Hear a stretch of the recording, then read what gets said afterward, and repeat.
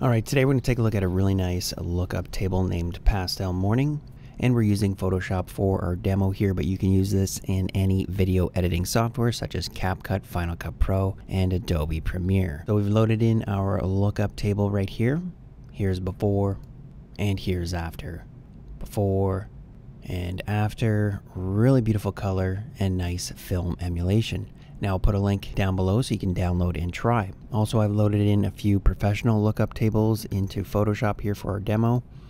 And you can see we've got Kodak, all different types of Kodaks here. Let's try the Portra 160. Let's try this one.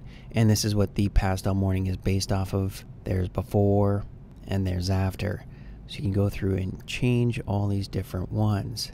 It's a nice film look before and after really handy and beautiful lookup tables. Also put a link down below for the film emulation lookup tables by Preset Pro. Thanks for watching and see you in the next video.